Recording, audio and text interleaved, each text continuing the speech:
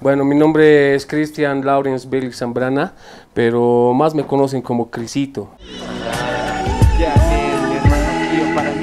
Desde que tengo uso de razón, siempre he vivido en Ciudad Satélite. Yo llegué a Ciudad Satélite gracias a mis abuelos. Mi abuelo vivía en la Plaza Belsu. Cuando ya pasaron muchas revoluciones, golpes de Estado, que esas veces se vivía muy fuerte en el centro, mi abuelo decide emigrar por un, algo mejor para su familia.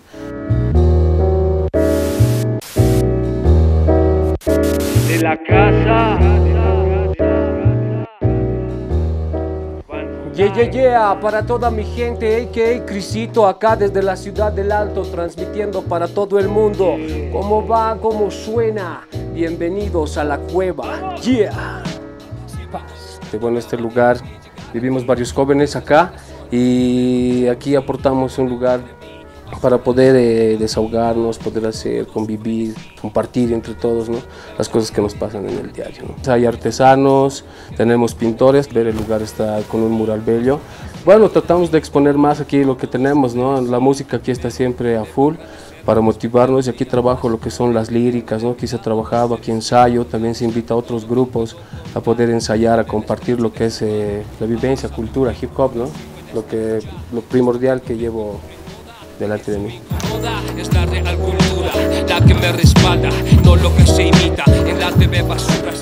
La mamá de mi abuelo era una señora de pollera que ha influido mucho ¿no? en su vida demasiado. Es por esa razón que yo tengo acá este que es mi respaldo familiar. Mi abuelo cuando era niño tenía que trabajar y su mamá estaba enferma. Su sueño era tener zapatos siendo lustrabotas porque andaba con abarcas que se lo había hecho mi abuela, entonces le dijo que trabaje para sus zapatos. Él trabajó y justamente hubo un problema policial en el Prado y tuvo que ocultarse, no llegó a dormir a su casa y esa noche le robaron los zapatos a mi abuelo y regresó llorando a su casa porque había trabajado mucho para tener los zapatos y entonces mi abuela le dijo que se pusiera a leer porque un libro nadie roba y el conocimiento se te queda eterno yo estaba buscando identificarme con algo, todos los jóvenes llegamos a un punto en que quiere identificarse, entonces me metí a las artes marciales, me, metí al bicicross, me metí al boxeo chino, fui, fui buscando una cosa, fútbol, futsal, básquetbol, quería definirme en algo. Libre como el viento, viento que me lleva a volar mis pensamientos. Entonces ya había sentido algo duro que, con, con lo que había pasado lo del gas en la ciudad del Alto ha marcado a muchos jóvenes eso. Y había una voz de grito que quería decir, ¿no? Se quería soltar. Ahí ha nacido entonces esa intención de querer, de querer hacer revolución, hip hop protesta, hip hop consciente, hip hop movilizando a masas, pero no a cosas malas, ¿no? sino a que entendamos la realidad donde estamos parados, el pan que comemos, la situación de nuestros abuelos, por qué lo han luchado nuestros padres y qué queremos nosotros para nuestro futuro. Y creo que los jóvenes del Alto siempre estamos en pie de lucha, siempre estamos, somos un motor que mueve todo esto, entonces hay que darle una voz, ¿no? Y si tengo el talento, bueno, pues entonces estoy dispuesto siempre que puedo. No me cabe cómo es que algo no te olvida, por eso es que te traigo hoy entre mis melodías. El hip hop o el rap, como decimos, es, es con letras mayúsculas, o sea, hip hop es una forma de vida, es una cultura, ¿no? es, es un movimiento grande, abarca todo como sociedad.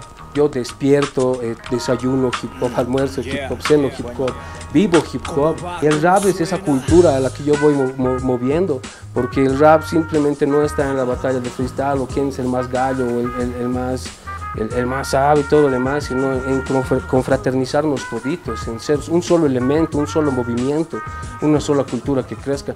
Me decía, el hip hop no es tu cultura, vos tienes que bailar saya, vos tienes que bailar tinku, vos tienes que hacer esto.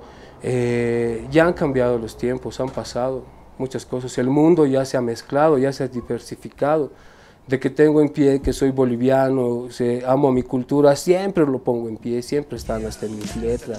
Siempre hablo del cóndor, del mar, del humano, de la paz. De la variedad que tengo de comidas, diversidad de colores, sabores, olores que tiene mi tierra amo, es, es, es, verdaderamente una delicia haber nacido aquí y ser boliviano.